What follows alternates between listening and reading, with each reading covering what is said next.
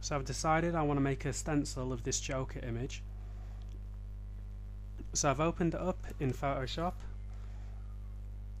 The first thing to do is get this image into a black and white image so that we can cut our simple one layer stencil with it. So we're going to go to image, adjustments and threshold tool and this is going to turn the image black and white.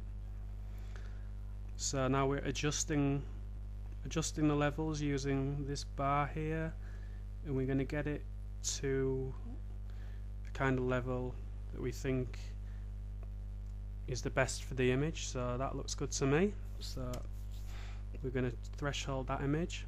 And we, what we've got to do now is we don't want a lot of this detail this background detail can all go. So I'll just use my white paintbrush tool we'll get rid of uh, a lot of this excess detail.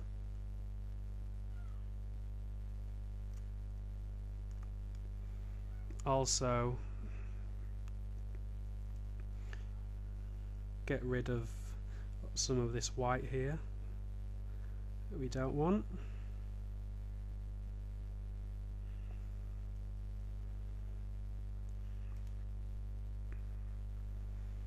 Okay I'm going to crop it now because I don't want all this black down here in my stencil. I just want it to be a facial stencil. So I'm going to crop it there so we'll work with this section. Okay what you've got to think about now is uh, this white bit that's in the eye here. You call this an island. And the island needs to link to this outside part of the stencil because what we're going to be doing when we cut this stencil is we're going to be cutting around all of this black layer because that bit's going to fall out of the stencil and we're going to spray through the black onto the surface. So if we was cut around all this black of the eye here then that white bit in the middle is obviously going to fall out of the stencil but we want that detail there. So what we've got to do is link that to the outside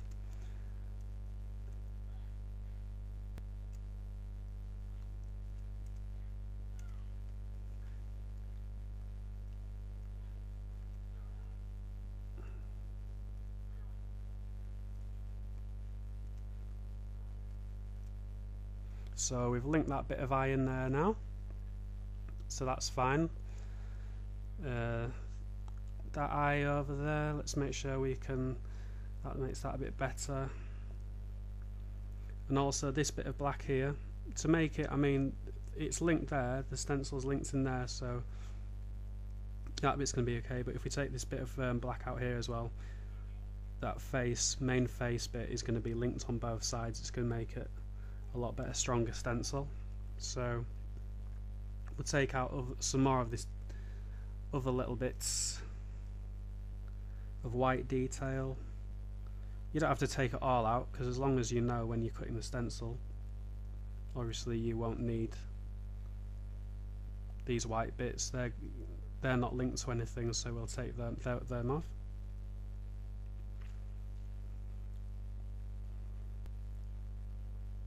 so I've got it like that. Another really good tool to use to make your stencil a little bit more stencil cutting friendly is to go to your cutout tool. I find that you know, if you've got your number of levels and edge limits, you can scroll out of this and you can see what it's going to look like when it's being transformed. So you just want to take out some of the of the little bits of detail and just leave a more basic cutout shape. See you in a minute.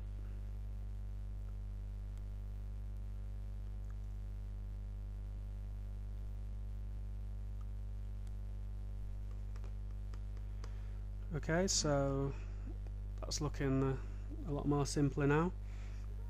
It's looking good to me. So that's it basically. We've made um, we've made the stencil. We can print this out cut around these all these uh, black bits obviously and then spray your stencil. So your main thing the main things things to use is your image adjustment threshold tool to make the image into a black and white and then from there you've just got to figure out if you need to link any parts of the stencil together to stop it from dropping out. And that's it